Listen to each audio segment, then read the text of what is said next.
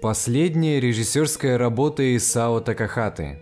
И она достойна фигуры своего отца.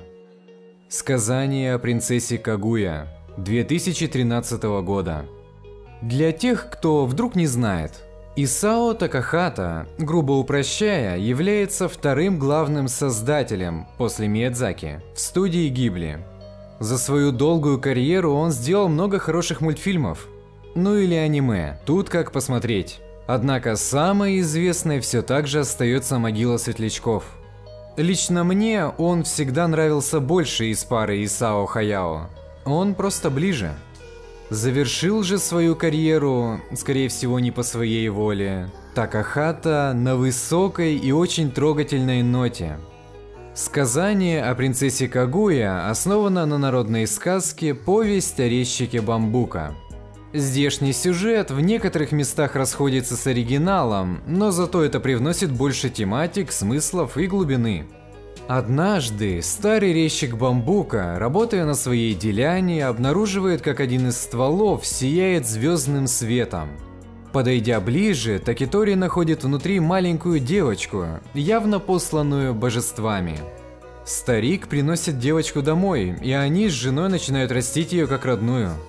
Все свое детство она проводит около деревни с местными ребятами. Резчик же, зная о происхождении дочери, решает, что та должна жить не в хижине на холме, а во дворце, как и положено принцессе. Небеса посылают ему деньги, на которые тот буквально покупает дворянское положение своей семье, а ее забирает в столицу. Слухи о невиданной красоте новой знатной особы распространяются как огонь, а сама же Кагуя почти сразу понимает, что такая жизнь не по ней. И вот здесь история начинает подкидывать множество сложных тем, поданных очень простыми приемами и средствами. Начиная от своего места в этом мире и ослепляющей любви родителей к детям, и заканчивая посылом о важности равенства, и даже немного затрагивая ницшанского сверхчеловека. Не говоря уже о явных аллюзиях на восточные религии. Если я, конечно, не обознался, и этот человек похож на Будду. Сюжет действительно прост, но ни в коем случае не примитивен. История, как и в каждой притче, имеет несколько слоев, количество которых варьируется в зависимости от желания зрителя видеть. Для детей это будет сказка ложь давней намек, а вот определенная категория взрослых докопается и до вышеназванного Ницше.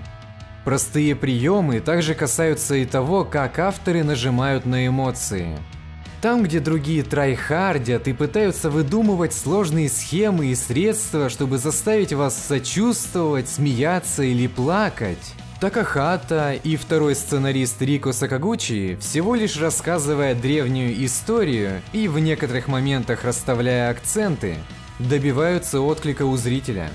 И это не читерный хатика, где давят все полтора часа, чтобы в конце из тебя потекло все, что только может – Сказание не знает, что такое давить, но все равно развязку смотришь, хватаясь за все соломинки вместе с Кагуей. Так, заканчиваем с сюжетной частью, а то из меня начали выходить латентные спойлеры. В мультфильме несколько действующих лиц, но важнейшими являются только трое. Кагуя, ее отец и мать. Эта троица прекрасно написана и не менее прекрасно сыграна. Резчик бамбука в прямом смысле ослеплен желанием сделать дочь счастливой, что не видит ее несчастья. Мать не имеет реальной власти над семьей.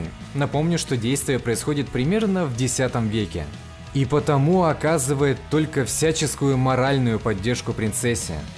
Два этих персонажа как раз и ответственны за главную трагедию, об опасности повторения которой и предупреждает данная и исходная истории – Принцесса, нареченная Кагуей, очень живая и очень симпатичная в плане проявления к ней симпатии, героиня. Для меня остается неясным, как можно не влюбиться в этот сгусток искренности и доброты. Сгусток такой плотности, что возникает ощущение ее нечеловечности.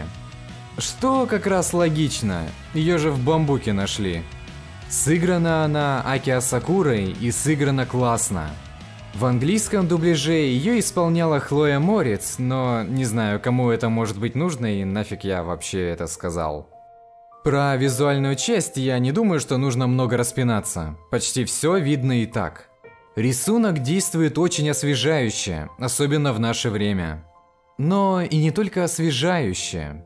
Не в обиду Pixar, DreamWorks и Disney, но ваша 3D-анимация ни разу не произвела что-то схожее с тем, что произвел побег принцессы из дворца.